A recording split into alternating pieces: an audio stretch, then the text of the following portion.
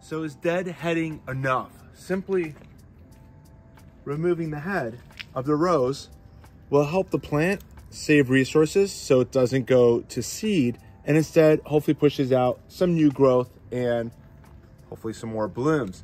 So in my opinion, deadheading is not enough in order to stimulate and encourage this massive return of blooms month after month throughout the entire year as we've been enjoying right here on our property. And I'm gonna explain to you why right now. Hi, my name is Charles Malki, biologist and plant expert with IV Organics, where we grow cool plants and author of Saving the World with the Home Garden. And today we're going to be talking about the importance of pruning your roses. The general goal in this lesson is that you're creating a structure that is going to have a strong foundation, good elaborate root system that supports a lighter plant, which will encourage vigorous growth and maximum blooms.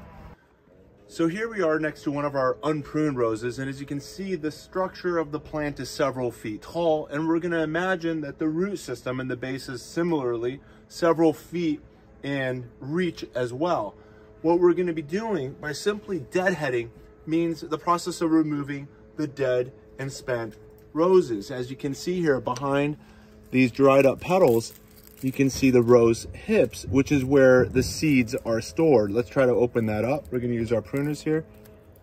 And it's about halfway done fruiting in the sense of making the next generation seeds so it can perpetuate itself and the new varieties of roses through the process of cross-pollination. So the seeds are embedded in here. And like I said, they're only halfway developed.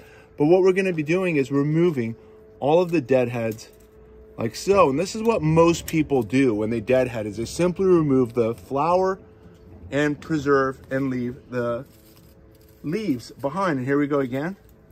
Deadheading, simply removing the spent flower and keeping the leaves behind. Let's do that one more time. Here we are, spent flowers and pruning, leaving the leaves behind. This practice will result in growth that is minimal and blooming that is even more pitiful. If you take a look up in the plant structure, you'll see, for example, over here, spent roses, and we can prune back to the leaf, and you can see that the plant is beginning to push out some new growth. But this growth is only gonna be in the inches, creating minimal growth and minimal blooms. But if you wanna encourage maximum growth with maximum blooms, I encourage that you cut back the new growth, which is, as you can see here, the last time I pruned was right here, which is about two to three months ago. And it pushed out all of this new growth, about 12 to 14 inches of new growth. And what I'm gonna do when I deadhead is cut back about one third of the new growth back. So we're gonna cut back to about this leaf here. And I'm gonna prune at an angle at about a quarter inch above that leaf node right there and new growth will come out and then support maximum blooms off of this growing tip. And again, here we are. We've got spent roses, new rose coming in. As you can see, it's just pushing out about an inch of growth before it's trying to push out a new bloom. And again, we're gonna cut back a third of the way down this process of pruning one third of the vegetative growth back is gonna encourage massive vegetative growth. And as I already said before, maximum blooms. Let's now finish this up. So in addition to pruning, it's also important to be feeding your roses throughout the year. The most important month of the year to organically feed your plants is May, but it's important to continuously feed them basically every three months through the entire year in addition to you can be foliar feeding your plants too. Again, for optimal maximum health, longevity, productivity, maximum blooms for your fruit trees, maximum fruit yield, size, quality, and taste. What we're gonna do now is basically add the IV Organics all-purpose fertilizer, which gives your plants all six plant macronutrients, which include nitrogen, phosphorus, potassium, magnesium, sulfur, and calcium. We can feed them at the soil level by simply taking about a tablespoon or two, and we're just gonna sprinkle it here around the base of the plant like so. And then we can gently rake those in to get it below the wood chips. And as soon as you water, the product's gonna begin working. In addition to feeding at the soil level, you can also make a liquid fertilizer. This four pound bag makes up to 120 gallons at a rate of a tablespoon per gallon of water. And this is a two gallon container, so we're gonna add two tablespoons.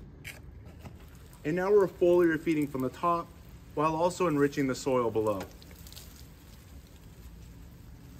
So foliar feeding is a way to get a lot of the macronutrients and micronutrient nutrition into the plant right at the leaf level compared to being uptaken from the root. This is particularly important in the fall and winter months for your evergreen plants, such as for here, us in Southern California, our roses are green year round in addition to our citrus and avocados, mangoes, passion fruit, bananas, and so much more can all benefit from foliar feeding in the winter months to basically give them all of the nutrients they need for maximum productivity come spring so that they're not going in with depleted reserves within the plant. A couple university studies I want to share with you before we conclude is Ohio State University says by late fall feeding, you can expect better winter color, early spring greening up, increased shoot density, improved fall, winter, and spring root growth, and enhanced storage of energy reserves, which are your carbohydrates within, for example, your turf plantings. Oregon State University says macronutrients we should be applying regularly are nitrogen, phosphorus, potassium, calcium, magnesium, and sulfur. And again, IV Organics has all six plant macronutrients as explained by Oregon State University.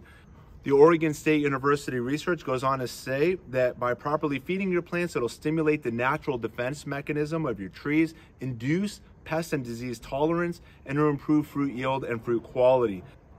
Additionally, field research has shown that supplementing foliar feeding can increase your fruit yields by between 15 to 25% compared with just conventional soil fertilization. However, foliar fertilization should not be considered a substitute for sound soil fertility programs.